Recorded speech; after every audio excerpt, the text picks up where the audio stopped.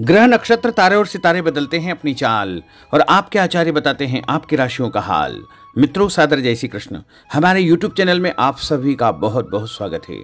मैं हूँ आपके साथ आचार्य धर्मेंद्र शास्त्री। आज हम आपको बताने जा रहे हैं दैनिक राशिफल। यह राशिफल है दो मई 2023 मंगलवार का दिन है।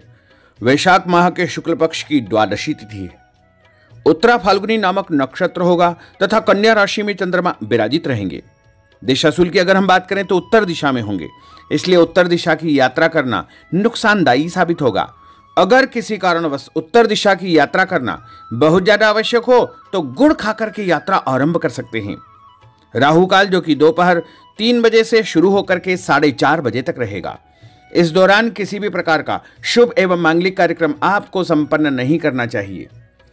हालाँकि राहु काल का निर्णय आप अपने क्षेत्र के पंचांग अथवा कैलेंडर के अनुसार कर सकते हैं, क्योंकि राहु काल कई क्षेत्रों में माना जाता है और कई क्षेत्रों में नहीं भी माना जाता है।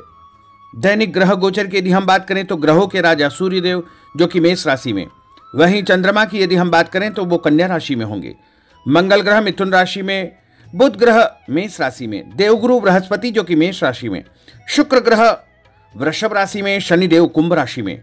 राहु ग्रह मेष राशि में तथा केतु ग्रह तुला राशि में विराजित रहेंगे। इस दैनिक ग्रह गोचर के अनुसार वृषभ, कर्क कन्या, वृश्चिक, मकर एवं कुंभ, ये छह राशियाँ सबसे अधिक भाग्यशाली रहने वाली है। कार्यक्षेत्र में उन्नति और प्रगति के उत्तम अवसर इनको प्राप्त हो सकते हैं। जो भी काम, जो भी ज़िम्मेदारी इनको मिलेगी, उसको पूरी ईमानदारी से ये निर्वहन करेंगे और उसमें फ़ायदा भी इनको देखने को मिलेगा।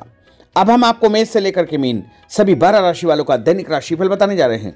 हमारे इस ज्ञानवर्धक वीडियो को अंत तक ज़रूर देखिएगा और देखने के बाद अधिक से अधिक लोगों को शेयर भी करिएगा। तो चलिए सबसे पहले बात करते हैं मेष राशि की।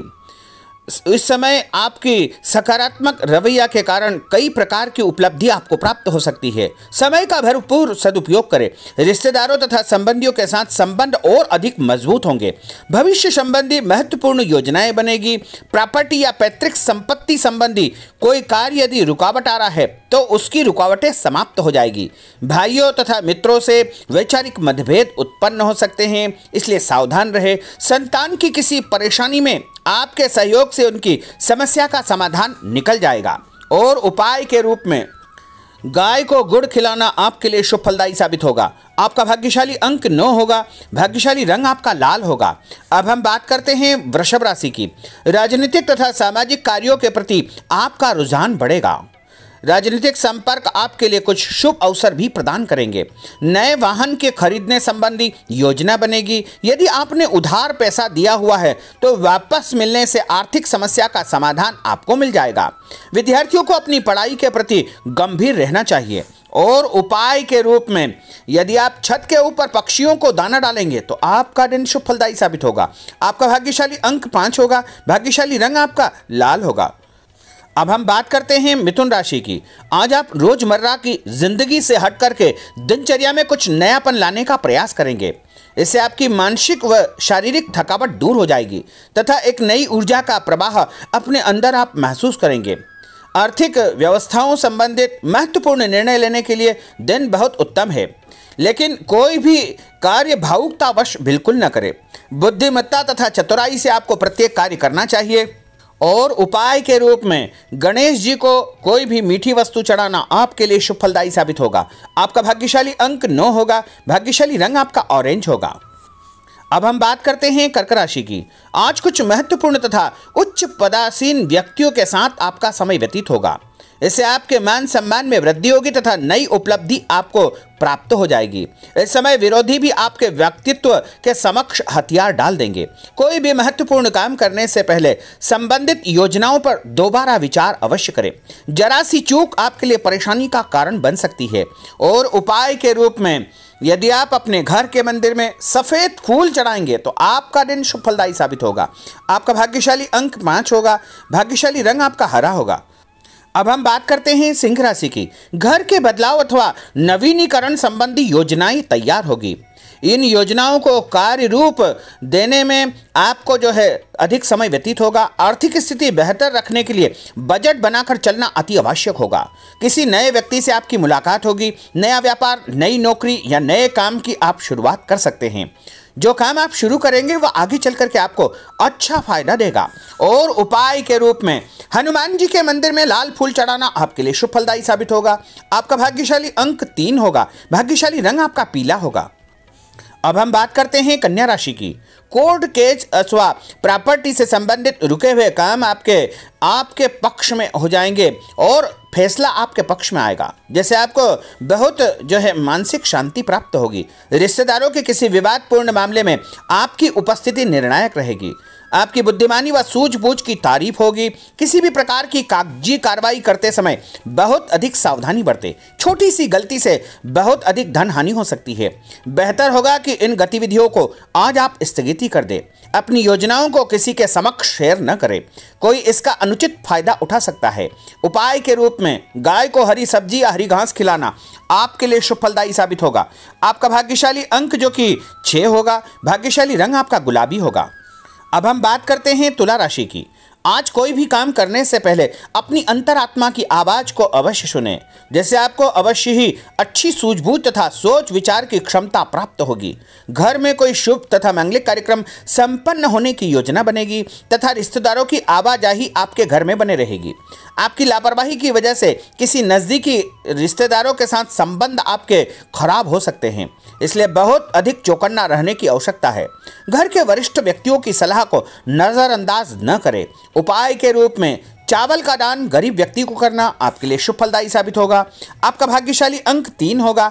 भाग्यशाली रंग आपका सफ़ेद होगा। अब हम बात करते हैं वृश्चिक राशि की।